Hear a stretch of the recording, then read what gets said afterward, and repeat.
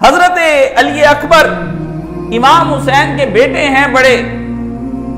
ये अपने बाप के साथ जा रहे हैं और लोगों का ये किताबों के अंदर जो तस्करे आते हैं, उनमें ये आता है कि इमाम हुसैन हज़रत अली अकबर को देख देख कर जीते थे, क्योंकि उनकी शक्ल भी सारी रसूलुल्लाह सल्लल्लाहु अलैहि वसल्लम जैसी जब कभी नाना जान को देखना होता तो जनाबी अली अकबर को देखते।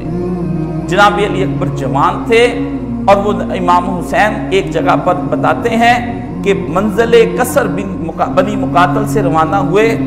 तो इसी इस्लाम में इमाम हुसैन ने अपना सर मुबारक जीन के ऊपर रखा। और आपकी थोड़ी सी आँख लग गई सफ़र के दौरान घोड़े पर बैठे बैठे।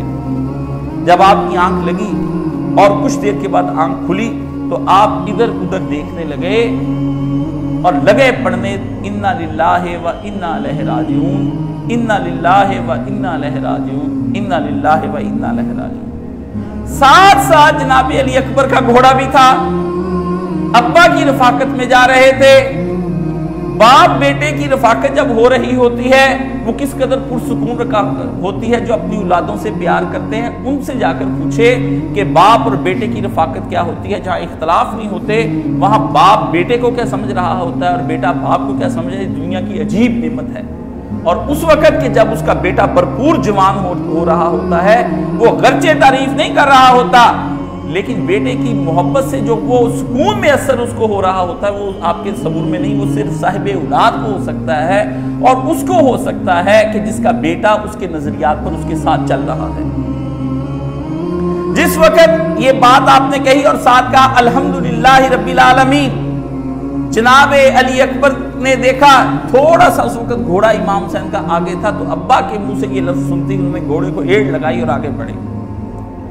और पूछा कि, या हज़रत ए प्यारे अभी जान ए मेरे बाप ए मेरे वालिद मोहतरम, ये आपने जो कलमा इस वक्त लिल्लाह का पढ़ा है, इस दर्जा का, ये कलमा किस वास्ते पढ़ा है?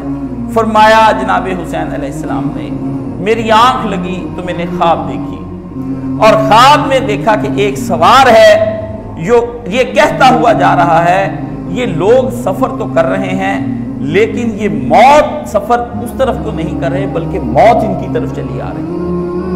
आपके मिशन के अंदर ही आपको बता दिया गया, और रोया सालेहा ये था इमाम हुसैन का, जो साले ख्वाब आपको आया, और आप जानते हैं कि रसुल्ला ने फरमाया कि रोया सालेहा जो होता है, वो नबूवत का छियालीसवां हिस्सा होता है। सच्चा ख्वाब। और उसकी निशान, इस पर आपने उनको फरमाया। तो जनाबे अली अकबर ने कहा अब्बा जान क्या हम हक पर नहीं हैं? अल्लाह अल्लाह अल्लाह। अब जरा देखिए, एक पैरोकार अपने लीडर से, एक बेटा अपने बाप से, एक ही वक्त में दोनों कैफियात के अंदर सवाल हो रहा है। जनाब हुसैन, जब बेटे ने पूछा तो बेटा तालब इल्म बना और जनाब हुसैन बतौर उस्ताद के बने। जब बाप अपने मिशनों से आगाही पर उतर आता है तो बाप और बेटे का फ़र्क छोड़कर वो उस्ताद उसी वक्त बन जाता है, वो मौलिम बन जाता है। बाप अगर मौलिम नहीं तो ये आप अपने जहन में रख लें कि वो बाप दुनिया का नाकाम तरीन आदमी है, जो अपने बेटे के नजरियात की वजाहत नहीं दे सकता और उसको नजरियात के अंदर हक और बादल खैर और शर का फ़र्क नहीं उसको करके दिखाता, उतनी देर तक ये बाप बेट असली बाप नहीं बन सकता। बाप का मौलिम होना इंतहाई ज़रूरी है। सारा कुछ बाप पर डिपेंड कर रहा होता है। बेटे को पहला भरोसा अपने बाप पर होता है। बाप ही जिस बच्चों को बाप उनके भरोसे तोड़ देते हैं, वो बच्चे सारी ज़िंदगी कभी जुड़ते नहीं हैं।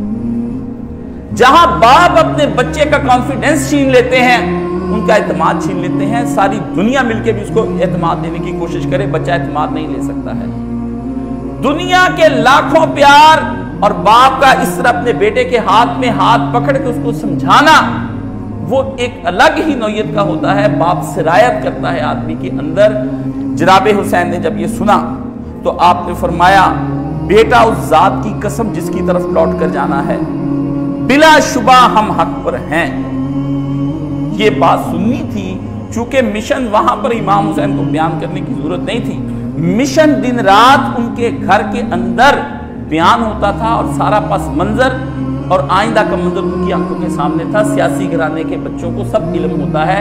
आपके डफर बच्चे अलग हैं। जिन बच्चों के पाकिस्तान बनने से पहले जो लोगों के बच्चों के मैं इंटरव्यू सुनता हूँ तो वो बताते हैं कि हमारे घर के अंदर रोज़ाना मिस्टर जिना की बातें होती थी, या कायद आज़म महात्मा गांधी की बातें होती थी, या जवाहरलाल नेहरू की और अंग्रेज़ों की बातें। तारा किया जाता, उनकी जहनी आप जारी की जाती है दीन के साथ भी और सियासत के साथ भी।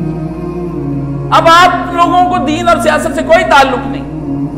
आपको कोई ताल्लुक नहीं, ना सियासत से रह गया, ना दीन से रह गया। सियासत आप मन मर्ज़ी की कर जाते हैं। तो इमाम हुसैन के पस मंजर में ये सारा था, हज़रत अली अकबर का, कि पिछला 20 साल दौर किस तरह का गुजरा है हज़रत मुआविया का? और ये दौर किस तरह का यजीद का आया है? अब्बा को कैसे रात को घेरा गया मदीने के अंदर? और अब्बा से ज़बरदस्ती किस तरह बैत तलब की गई और अब्बा किस तरफ़ को जा रहे हैं, ये मदीने से साथ चले हैं, मक्का पहुँचे हैं, मक्का में अपना हज छोड़ दिया इमाम हुसैन ने अपने मिशन के लिए और आपने उसको उम्र में बदल के एहराम बदल दिया। आठ तारीख को इमाम हुसैन ने कूच किया, एहराम बदल करके एन मौके पर दिन तो एक रहता था या दो रहते थे। कुछ लोग कहते हैं कि नहीं जी, दो दिन नहीं था, वो तो बनता ही नहीं आठ तारीख का तो मैंने उसका भी हवाला निकाल के रखा कि दो तारीख भी थी इमाम हुसैन के जाने की, बयान की जाती इमाम हुसैन ने वहाँ से रुखसत होते हुए अपने बच्चों को, दुनिया को पैगाम दिया कि एक ऐसा मिशन भी है जहाँ हज लाजिम नहीं है। हज लाजिम नहीं है। ये हज बरकरार तब रहेंगे जब रसूलुल्लाह सल्लल्लाहु अलैहि वसल्लम का दिया हुआ निज़ाम हुकूमत बरकरार रहेगा। आप तो हज कर रहे हैं ना आपको दीन के लिए कराते जब दीन ही रहा तो हज क्या रह गया? इमाम ने वो पैगाम दिया अपना, और ऐसा खामोश पैगाम है ये कि पूरे इलाके में चीमकों शुरू हो गई कि इमाम हुसैन चले गए हैं। उम्मत के ये सबसे बड़े लीडर थे। ऐसा नहीं था कि उम्मत जो है वो एक इमाम हुसैन के जाने का किसी को पता ही ना लगा। इमाम हुसैन वहाँ से निकले तो फरमाया बेटा, हम हक की राह पर हैं। तो बेटे ने आगे से जवाब दिया, अब्बा, फिर हमें मौत की क्या परवाह है? मौत तो हमें शहद से भी ज़्यादा लजीज हो जानी चाहिए। जब ये बात सुनी, अल्लाह अल्लाह, ओ इमाम आज का पूरे बतूल, वो आशकों का इमाम, वो फातिमा का पुत्र, पता नहीं किस कैफियत के अंदर थे आप। और कैसी तनहाई इमाम हुसैन महसूस कर रहे थे। इस एक कीमती जुमले ने इमाम हुसैन को यह कहने पर मजबूर कर दिया जजाकल्ला मेरे बेटे, तूने अपने बाप को जो इस वक्त ये बात कहकर हौसला दिया है, इसकी जजाएँ सिर्फ़ खुदा के पास है, किसी और के पास मैं नहीं दे सकता। ऐसे मिशन में जब डोल रहा हो आदमी तो उस वक्त बेटे का इस तरह से साथ खड़े हो जाना, ये कहाँ है? ये उस बीबी रुबाब की मेहनत है और की अपनी जाती मेहनत है जो उसके सामने उसके सामने आई है। वरना नबियों के बेटे भी तो साथ छोड़कर गए हैं। ये कौन है जो मौत को गले लगाने के लिए तैयार है अपने बाप के साथ? लड़कों के क्या अरमान नहीं होते। जाइए अपने लड़कों के अरमान। आपके लड़कों के अरमान अच्छा दूल्हा बनना। आपके लड़कों के अरमान अच्छे वलीमे होने, आपके लड़कों के अरमान बड़े होटलों के अंदर खाने खाने, अच्छी खूबसूरत बीवियाँ लानी, आपके लड़कों के अरमान कुछ और। आपकी बीवियों के अरमान और, बीबी रुबाब के अरमान और। वो चाह रही हैं कि मैं शोहदा की माँ बनूं और ये हमारी माएँ चाह रही हैं कि मैं एक कंजर दूल्हे की माँ दुनिया के सामने नज़र आऊँ। आपके सामने है ये सारा कुछ। आपके बाद दूसरा बच्चा आपका। और हज़रत अली अकबर ने जिस तरह से जंग की है मैदान के अंदर, उस पर मोहसन नकवी ने एक शेर कहा था कि लाश अकबर पे कजा सोच रही है अब तक। लाश अकबर पे कजा सोच रही है अब तक। जिसमें टूटी है बर्छी वो जिगर किसका है? वो जिगर किसका है? बच्ची आपने निकालने की कोशिश की इमाम हुसैन ने। लेकिन बर्छी बच्चे के अंदर इस तरह घुमी के नेजे का बल बाहर आ गया बच, बर्छी बच्चे के जिगर के अंदर रही। उसने कहा लाशे अकबर पे ये कजा सोच रही है अब तक जिसमें टूटी है बर्छी वो जिगर किसका है?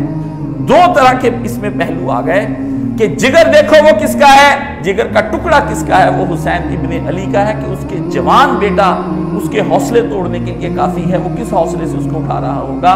और वो अली अकबर वो जिगर किसका है? वो नस्ल है मोहम्मद अरबी सल्लल्लाहु अलैहि वसल्लम की। वो अल्लाह अकबर पे ये कज़ा सोच रही है। और कांधे पे आप इमाम हुसैन उसको पहले किया और कांधे पे अपनी लाश उठाकर लाए हैं और अपने बेटे की लाश रखी खामे के बाद और कहा अल्लाह तकबल हाजिर कुर्बान, या मेरी इस कुर्बानी नन्नी से को कबूलो मंजूर फरमा।